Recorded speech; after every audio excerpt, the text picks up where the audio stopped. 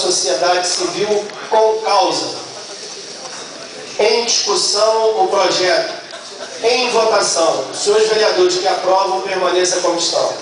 Aprovado por unanimidade.